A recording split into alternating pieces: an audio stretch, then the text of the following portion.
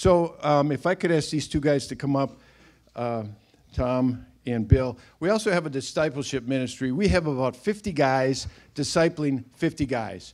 They meet typically weekly around the city somewhere in coffee shops, and we've had about six, 16 sets of guys that have graduated from the program. Could anyone that has graduated or is currently in the program, could you please stand?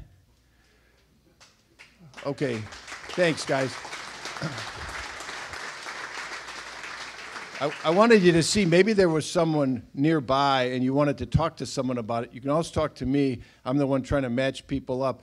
And I'm looking for someone who says, I want to be discipled. I think I can learn something from another mature Christian man about their faith. And I'm, and I'm looking for men who say, I'd like to disciple someone. I, I've been through life, I've got some experiences. I'm willing to carve out some time from my schedule and meet one on one with another man and go through that. So if you're interested in that program, let me know. So here's Bill Mahalik. And Bill went through the program recently, and I just wanted him to share his experience with you. I was working with uh, Thomas, and it, again, it's a mutual feedback back and forth. I learned from him. I'm not just imparting all my wisdom to him.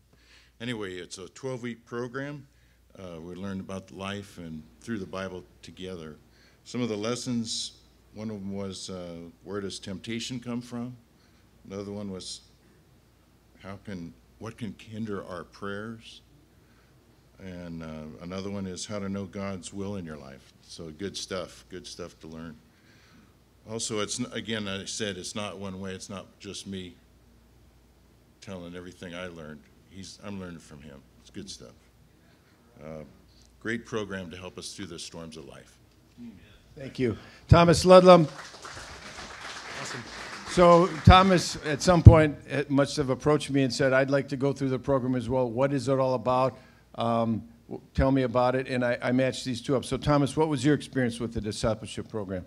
So my first experience, uh, or the the first thing was um, getting to have a deeper friendship with Bill. I mean, you know, you're getting past the surface of of the Bible and everything. Uh, the second thing was that it would uh, help me realign, no matter how good or bad my week was, it helped me, you know, how on the how part. And that how part was, you know, getting closer to Jesus and following Jesus. Good. Thank you. Bill, do you have something for Thomas?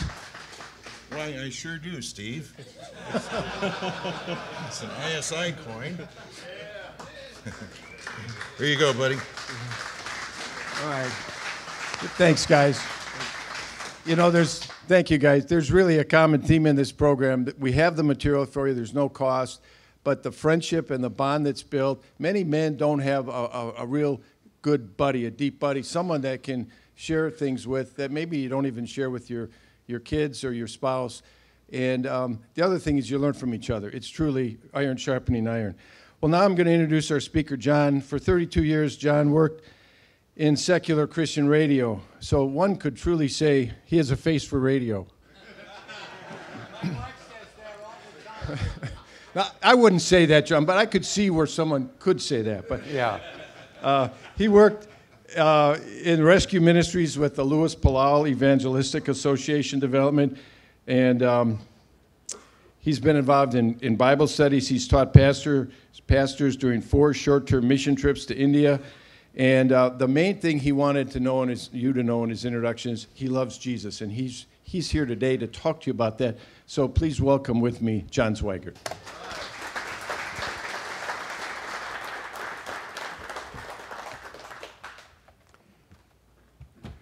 Uh, as you can tell, I am a holy roller.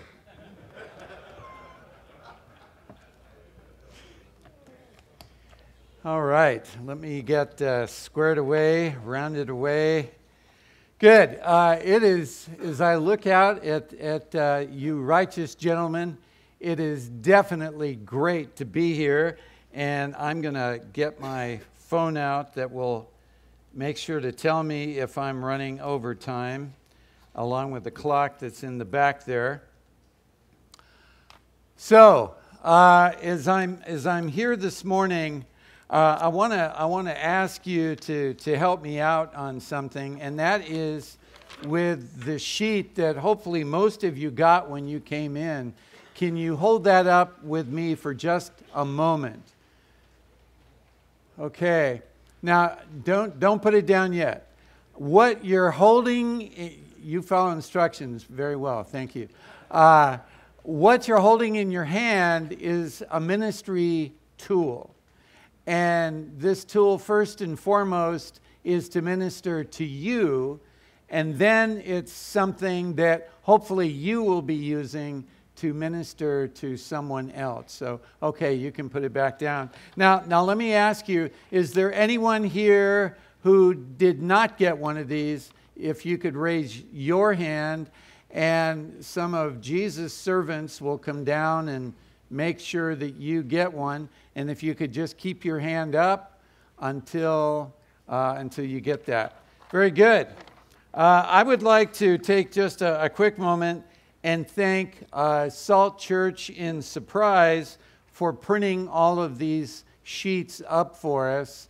Uh, printing is not cheap these days, so thank you, Pastor Michael, uh, for making that happen for us. Thank you. Let me ask you, and I'm guessing some people here are familiar with John Eldredge uh, and his book Wild at Heart.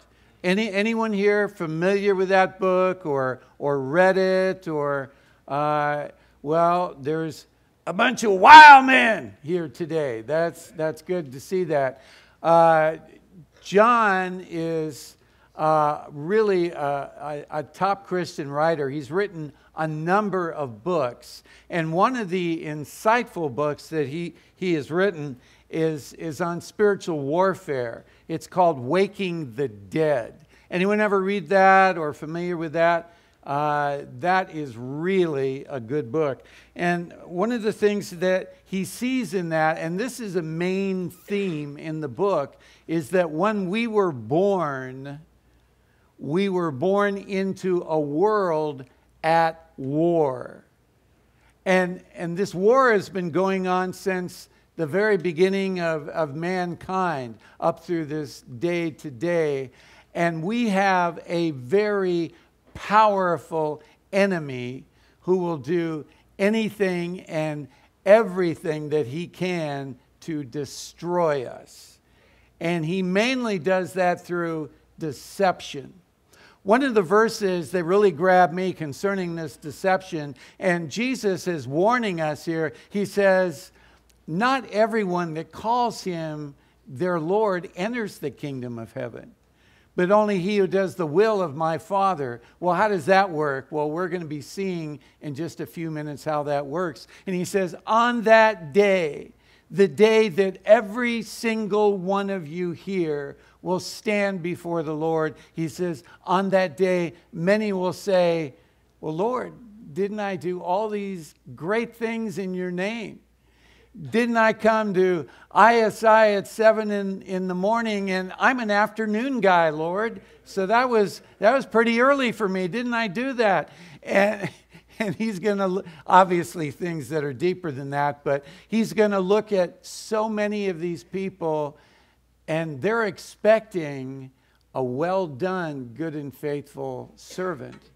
And what they're going to be getting because they were deceived was Jesus saying, I don't even know you. My spirit wasn't in you. My, my Holy Spirit wasn't in you directing your life. Be gone from me, you evil one. Be gone from me, some translations say, you who practice lawlessness. In other words, you who practice a lifestyle that is not following my instruction. Well, Satan doesn't want us or any of those people that we care about to have the life that Jesus wants to give us in John 10:10. 10, 10. He says, "I came to give you life and life to the fullest." And he will do anything and everything that he can to make sure that we don't get that life. And, and you may say, well, well, John, you know, I, I appreciate you saying that, but I'm good. You know, Jesus saved me, uh, my loved ones, we're good. And it's good that you can say that, but the question is when you're standing before the Lord, Will he say that? Will he say that? And, and so the thing about the deception that Satan uses is with deception, you don't know that you're being deceived. That guy that was calling Jesus his Lord did not know until it was too late that he had been deceived. And so, what I'm here for today is to give you a tool so you can know from God's word, first of all, if you've been saved and if you're seeing this evidence in your life. And then this is not a tool to keep to yourself, this is a tool to share with others that you care about. And when you care, you do share. Well, this is where we jump into the sheet that, that you got. And, and what you see is when, when we look at Jesus as our Savior, He's our Savior because of three things. He saved us from something, to something, for something. He's taken us from something and saved us from that into something else that is this life. And if we are truly in that life, He saved us for something. And the for something is not to just wait till we get old and die so we can go to be with Him in heaven. He saved us for a purpose, for a job description. And we're going to take a quick look at that as well.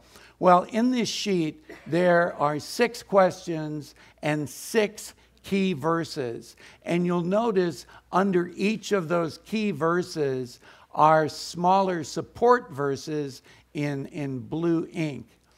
After this is over, I have 25 sheets that uh, this actually is five, but it's 25 if you use your imagination.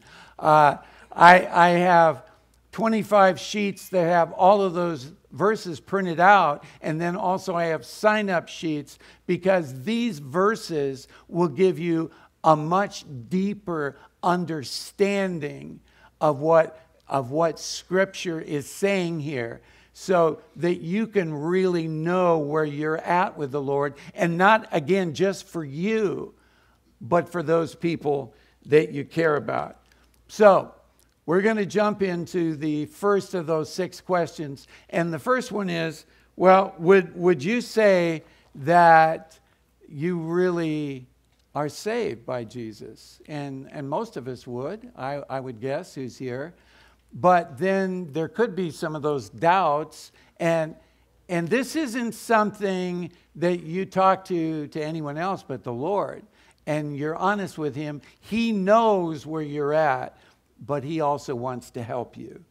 The second question is Is the Bible really the authority for your life? And if you have his spirit, he's giving you the hunger and desire to be into that authority. So you can find out more about who our God is and, and who you are. And then what does that relationship look like that you have with our God? And then finally, what is your mission? And that's why His Spirit is taking us into that. And you should be sensing that desire in you.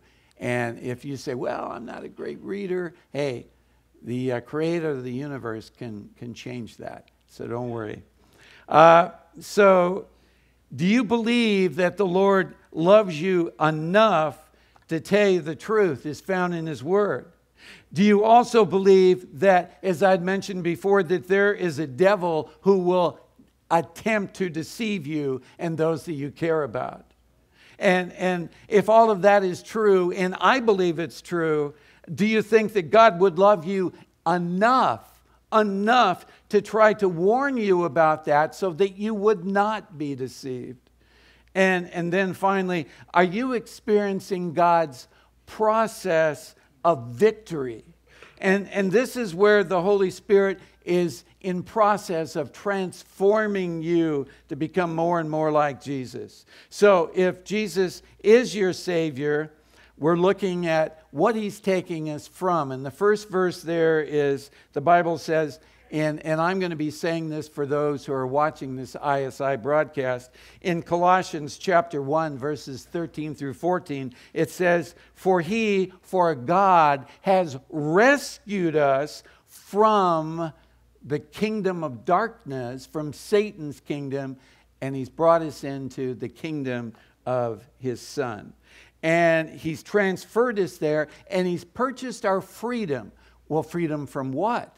Well, you'll see in the notes there freedom from slavery to sin. Now, that doesn't mean we don't sin, we're just no longer a slave to sin. And, and we could even at times have the Spirit, but not yet realize what He's there for. And that's part of why I'm here today, is to help you to understand that, along with these other verses that are available to you. So, going on to the next passage, and that's the second of six verses, that says, Don't fool yourself. This is in First Corinthians chapter 6, verses 9 through 11. It's, it says, Don't fool yourself. And in other translations say, Do not be deceived. And it mentions all of these different lifestyles that people are in where they are practicing this sin. Not just doing it every once in a while, but practicing it they're addicted to this sin. Now, the thing is, can, can we have some things where we just think, oh man, help me, Lord, help me?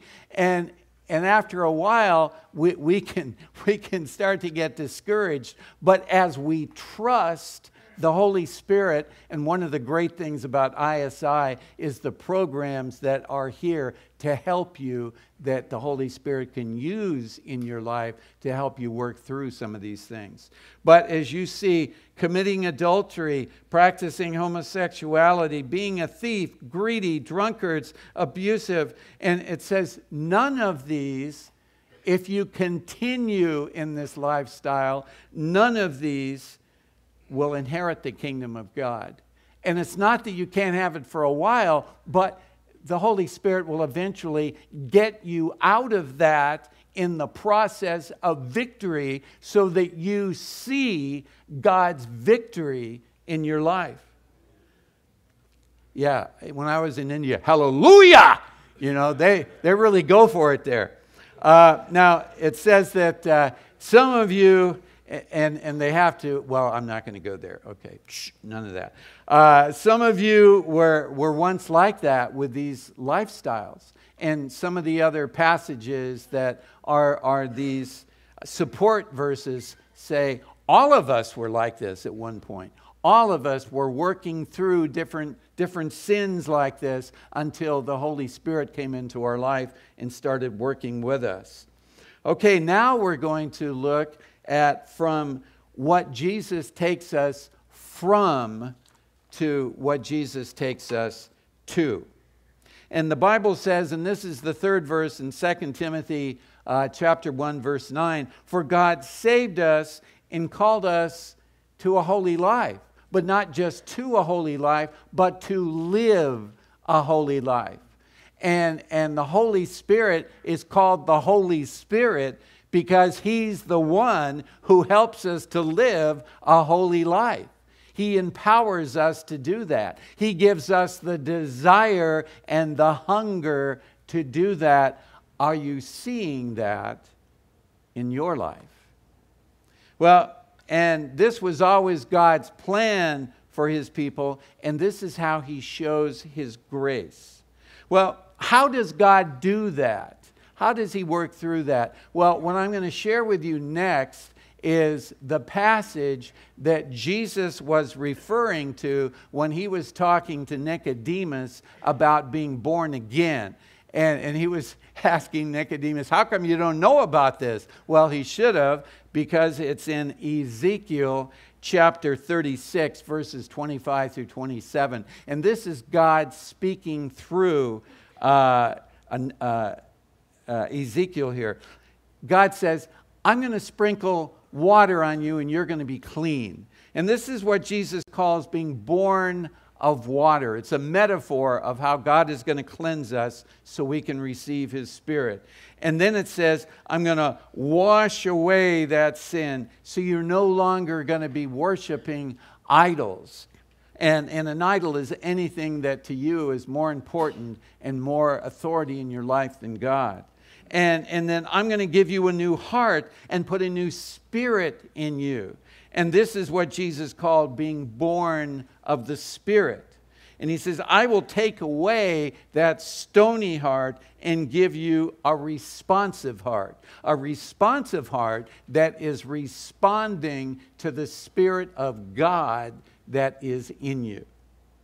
And, and then it continues with this.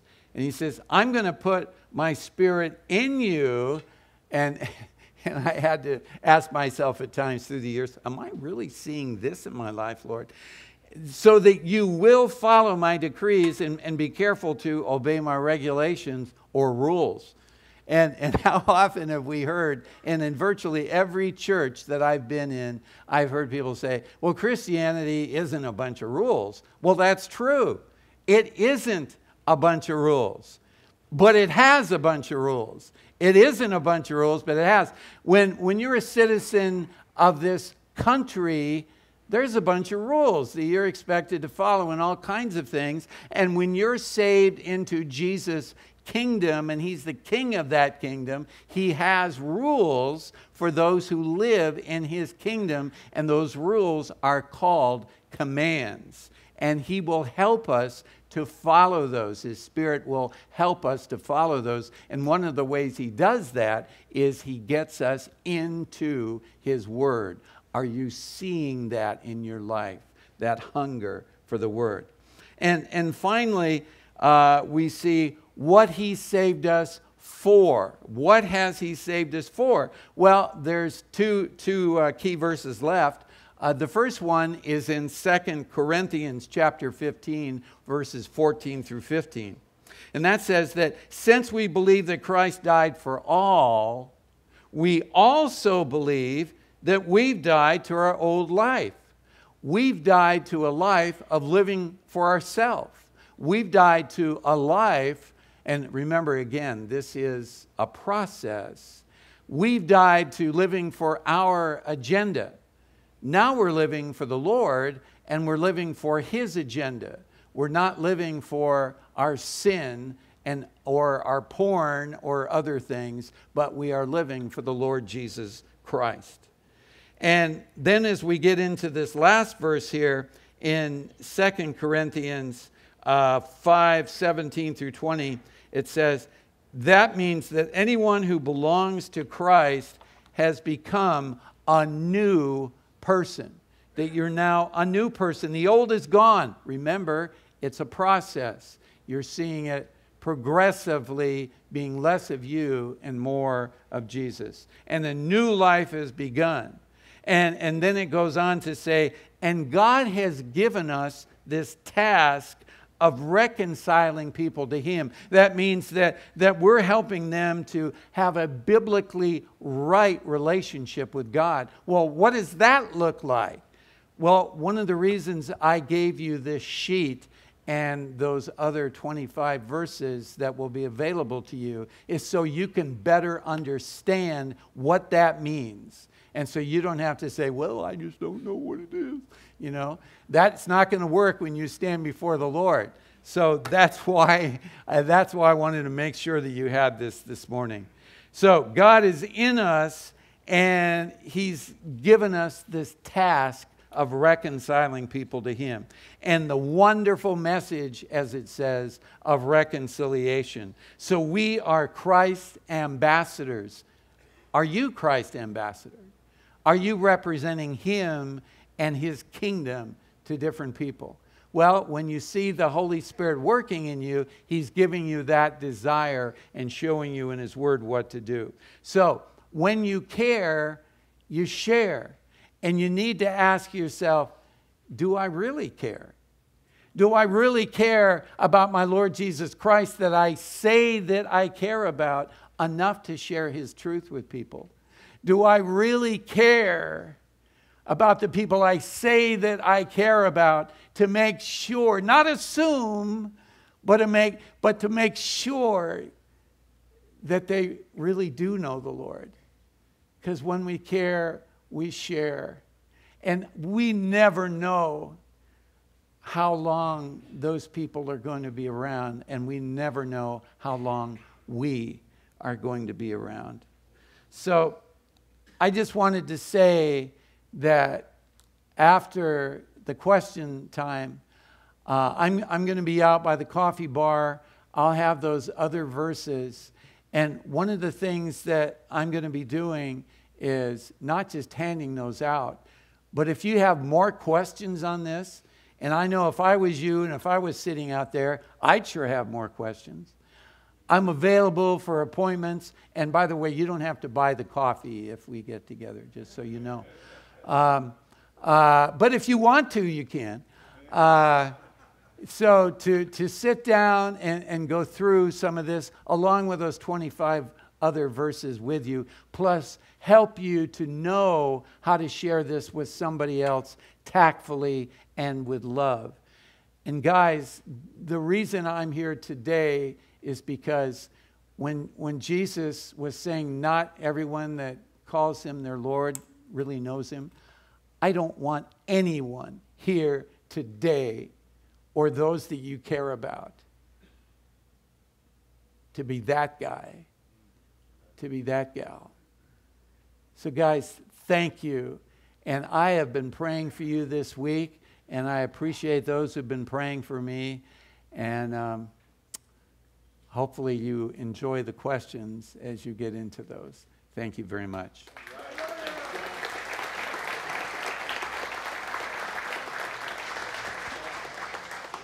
Thank you, John. John Zweygartt.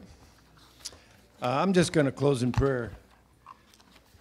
Lord, we lift up um, all of the ministries of Iron Sharpens Iron and all the men who throughout the week are praying for others, lifting others up, are volunteers and leading different ministries.